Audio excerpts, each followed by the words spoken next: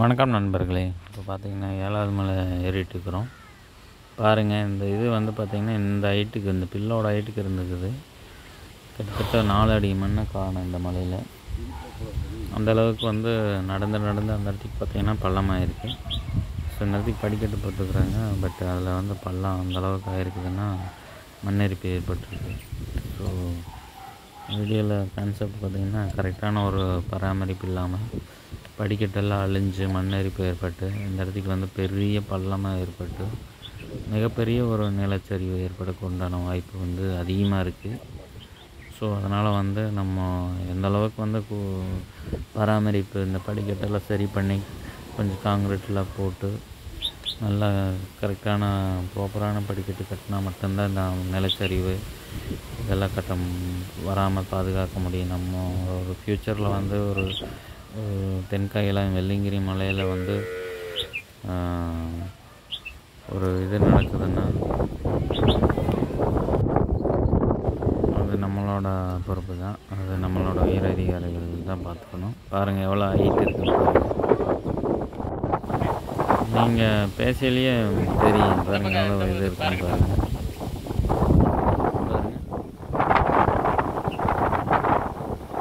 அவ்வளோ பாருங்கள் படிக்கட்டு ஏறதுக்கு எவ்வளோ கஷ்டப்படுறாங்கன்னு பாருங்கள் ஸோ இதுதான் ப்ராப்ளம் இது வந்து மேலே ஏறுறதுக்கு வந்து உங்களுக்கு வந்து சரியான ஒரு படிக்கட்டு கிடையாது. ரெண்டாவது படிக்கட்டு மட்டும் இருந்தாலும் அப்படி கிடையாது. அந்த பராமரிப்புங்கிறது வந்து ரொம்ப கஷ்டமாக இருக்குது நான் வந்து இந்த வீடியோ ஒவ்வொரு வீடியோவில் வந்து நான் பேசிகிட்டே தான் இருப்பேன். இந்த போகிற வழி இந்த வீடியோ வந்து அப்லோட் பண்ணிகிட்டே தான் இருப்பேன். இது ஒரு மெமரிஸ்க்காக தான். இப்போ நிறைய பேர் சொல்லுவாங்க எதுக்கு இப்படி வீடியோ எடுத்துட்டு இருக்கிறேன் ஒரு ஒரு ஷார்ட் மட்டும் எடுத்து பார்த்தா தான் ஒரு ஒரே கிளிக் போதுமில்ல எதுக்கு தேவையில்லாமல் இந்த மெமரிஸ் எல்லாம் வந்து இந்த கிடைக்க கிடையாது. எனக்கு ரொம்ப இந்த ஆயிரம் தடவை போனாலும் எனக்கு வந்து அந்த அளவுக்கு லவ் தென்கையெல்லாம் எனக்கு ரொம்ப ரொம்ப பிடிச்ச ஃபேவரட்டான ஒரு இடம்னா அது தென்கையில் வெள்ளங்கிரி மலை தான்.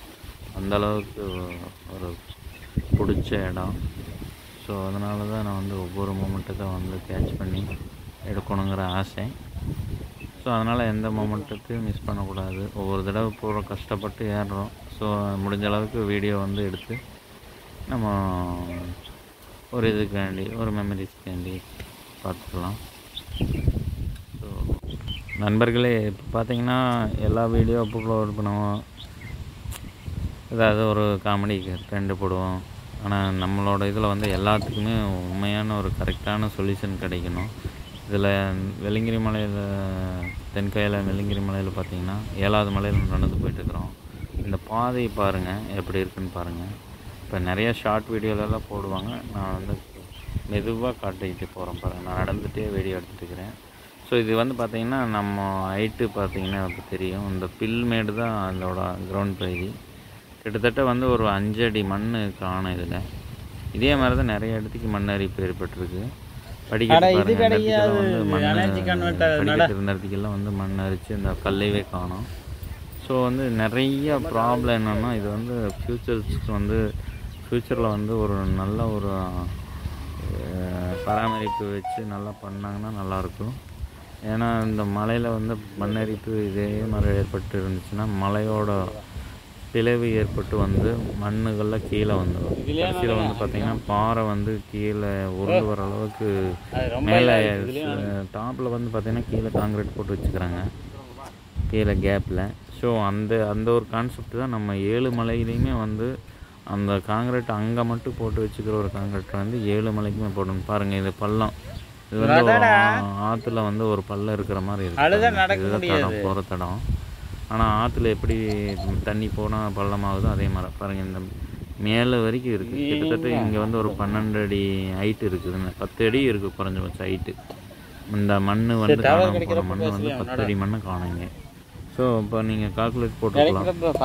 எவ்வளோ ஹைட்டில் வந்து மண் காணாமல் போயிருக்குன்னு பாருங்கள் இது நடந்து நடந்து அந்த வந்து இதே படிக்கட்டு வந்து பத்தடிக்கு மேலே இருந்துருந்துச்சுன்னா ப்ராப்பரான படிக்கட்டு இருந்துருச்சுன்னா கண்டிப்பாக நிலச்சரிவு மண்ணரிப்பு ஏற்பட்டவே நைன்டி நைன் பர்சன்டேஜ் வந்திருக்காதுன்னு நினைக்கிறேன். பாருங்கள் இதில் இன்னும் நான் பார்த்துட்டே இருக்கிறேன். இன்னும் அந்த ஹைட்டு வந்து இன்னும் பள்ளம் வந்து ஜாஸ்தி ஆகிட்டே தான் இருக்குது இன்னும் ஜாஸ்தி ஆகும். இந்த பள்ளம் இந்த ம அந்த அம்புக்குறி போட்டிருக்குல்லங்க ஏரோ மார்க். அந்த மார்க்கில் வந்து கூப்பிட முடியாது. அந்த கல்லில் ஹைட்டுக்கு மண் இருக்குது மண் பாருங்க கிட்டத்தட்ட ஒரு மூணு அடி மண் காணும். அழுது எங்க இறஞ்சி சீசன் வந்து இந்த மண் வந்து எவ்வளோ தூரம் காணாமல் போகுது அப்படின்ட்டு. இது இன்க்ரீஸ் தான் ஆகுமே தவிர இது வந்து காப்பாற்ற முடியாது.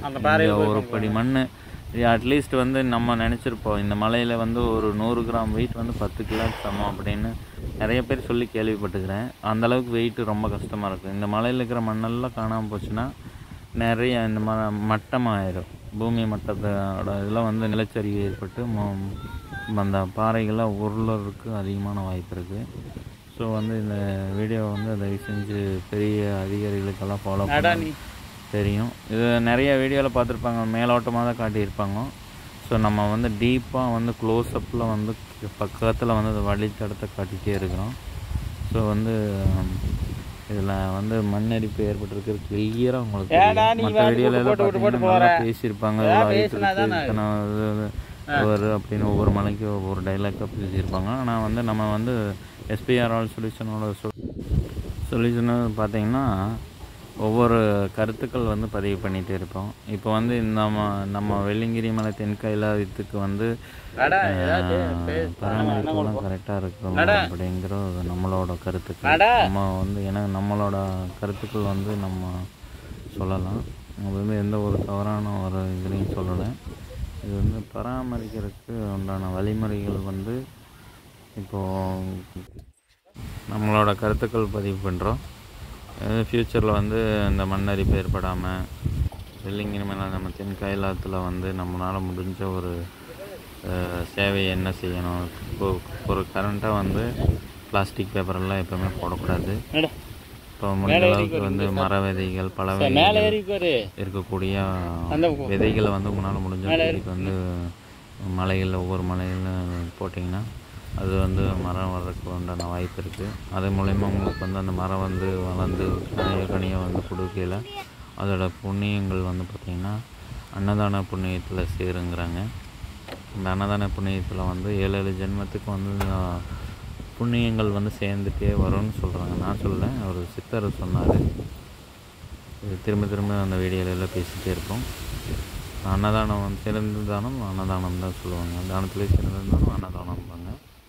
அவர் வந்து அந்த ஒவ்வொரு குருவிகள் ஒவ்வொரு விலங்குகள் எல்லாம் வந்து சாப்பிடையில ஒரு நம்ம போட்ட ஒரு விதையிலேருந்து முளைச்ச ஒரு பழத்தை சாப்பிடையில அதுக்கு பலாப்பழமே சாப்பிடுதுன்னு வைங்க. ஒரு ஏழு ஆனைக்குட்டி வந்து ஒரு பலாப்பழத்தை சாப்பிடுதுன்னா உங்களுக்கு வந்து அவ்வளோ ஒரு தானம் தர்மம் பண்ணணும். பலன் வந்து அன்னதானம் பண்ணணும். வந்து ஒரு பலாப்பழத்தை ஒரு விலங்கு சாப்பிடுது ஆனைக்குட்டி சாப்பிடுதுன்னா உங்களுக்கு வந்து ஒரு லட்சம் பேருக்கு வந்து அன்னதானம் வந்து போட்டதுக்கு சமம்னு நம்ம சித்தர் வந்து சொல்லியிருக்கிறாரு. ஸோ அதை தான் நம்ம சொல்கிறோம் உங்களால் முடிஞ்ச அளவுக்கு என்னென்ன ஃப்ரூட்ஸ் வகைகள் விதைகள் போட்டாலும் சரி ஆற்றுக்கு கொண்டு வந்து நட்டாலும் சரி என்னென்ன முடியுமோ அதெல்லாம் கொண்டு வரலாம். அதை விட்டுட்டு நிறைய மக்கள் வந்து இந்த கல்லெல்லாம் பேத்து எடுத்து மேலே மேலே அடுக்கி வச்சு இந்த சில்லி விளையாடுற மாதிரி. சிப்ளின்னு சொல்லுவாங்க. சில்லியோ சில்லியோ ஏதோ பேர் இருக்கும். அந்த கேம் விளையாடுற அவளுக்கு அதுக்கு அதை அந்த கல்லடிக்க வச்சுட்டா வந்து நம்ம மக்களுக்கு வந்து நிறைய ஒரு சிலர் தான் சொல்கிறேன் அது இப்படி வச்சுட்டா வந்து வீடு கட்டிடுவாங்களாமா? பங்களா வாங்கிடுவாங்களாமா? இல்லை சரியான பெரிய பணக்காரர் ஆகிடுவாங்கன்னு ஒரு நம்பிக்கை சொல்கிறாங்களே அந்த மாதிரி பணம் அடுக்கி வச்சுக்கலாமா? அப்படின்னு எல்லாம் மூட நம்பிக்கையோட இது பண்ணுறாங்க கடவுள் பக்தி இல்லாதவங்க தான் அந்த மாதிரி பண்ணுறாங்க கடல் பக்தி இருக்கிறவங்க வந்து கண்டிப்பாக அந்த மாதிரி ஒரு கல்லடிக்கி வைக்கிறதெல்லாம் பண்ண மாட்டாங்க. அதுக்கு பதிலாக தான் வந்து இந்த விதை செடிகள் பல வகை செடிகளோட விதைகள் மரக்கன்றுகள் இதெல்லாம் கொண்டு வந்து நடைகளை தான் உங்களுக்கு வந்து உங்கள் வீட்டில் செல்வ செழிப்புகள்லாம் வளரும். ரெண்டாவது இந்த பிளாஸ்டிக் பேப்பர் இதெல்லாம் போடாமல் இருக்கணும். அதன் மூலிமா நீங்கள் முழு பலனை பெ பெறலாம். இந்த மலைக்கு வர்ற முழு பலன் பெறணும்னா எந்த ஒரு அசுத்தமும் பண்ணக்கூடாது. அதனால் வந்து தான் இப்போ வந்து தான் வந்து முழுமையான தென்கைலாயம் வெள்ளிங்கிரி மலைக்கு வர்றவங்களோட முழுமையாக பலன் கிடைக்கணும்னா நீங்கள் வந்து எந்த ஒரு அசுத்தம் இல்லாமல் பண்ணோன்னா இந்த சொல்லக்கூடிய கருத்துக்கள் எல்லாமே ஃபாலோ பண்ணணும்னு நம்ம சித்தர் சொல்லியிருக்கிறாரு. அதை தான் நம்மளால் முடிஞ்ச அளவுக்கு திரும்ப திரும்ப ரிப்பீட்டாகவே பேசிகிட்டே வரோம். ஸோ ஒவ்வொரு தடவை ஒவ்வொரு மூமெண்ட்டத்தை பார்க்கல வந்து அந்த பார்ப்பாங்க அதனால் வந்து ஒவ்வொரு தடவையும் பேசிக்கிட்டே இருக்கிறோம். ஸோ நண்பர்களே நம்மளால் முடிஞ்ச அளவுக்கு இந்த மலையில் பார்த்தீங்கன்னா ஸ்டெப்ஸு இந்த மாதிரி என்னென்ன அஹ், இடைஞ்சல்கள் இருக்குது என்னென்ன பிரச்சனை இருக்குது எல்லாமே வீடியோலேயே காட்டிகிட்டே வரோம். நிலச்சரிவு உண்டான வாய்ப்புகள் நூறு சதவீதம் இருக்குது. ரெண்டாவது வந்து வந்து மண்ணரிப்பு ஏற்பட்டு இருக்குது படிக்கட்டு சரியில்லை. அந்த மாதிரி ஏகப்பட்ட விஷயங்கள் சொல்லிக்கிட்டே இருக்கிறோம். நம்ம ஒவ்வொரு வீடியோ அப்லோட் பண்ணியெல்லாம் சொல்லிகிட்டே இருக்கோம். ஆல்மோஸ்ட் ரீச் ஆயாச்சு. இங்கே தான் வெள்ளங்கிரி ஆண்டவர் இது கோயிலோட ஏழாவது மலையில் ரெண்டு பகுதிக்கு வந்தாச்சு. முடிவு பகுதி எவ்வளோ ஏழாவது மலையோட இது. அதை வந்து வெள்ளங்கிரி ஆண்டவர் இருக்கிறாரு. ஸோ வீடியோ லைக் பண்ணுங்கள் ஷேர் பண்ணுங்கள் சப்ஸ்கிரைப் பண்ணிடுங்க எல்லாத்துக்குமே நம்ம என்ன மேற்கொண்டு நிறைய வீடியோ அப்லோட் பண்ணுவோம் இன்னும் இறங்குற வீடியோ நமக்கு பாருங்கள் அவ்வளோ காற்று மேகம் காமெடியாக விளையாடிட்டு இருக்காங்க மேடம்.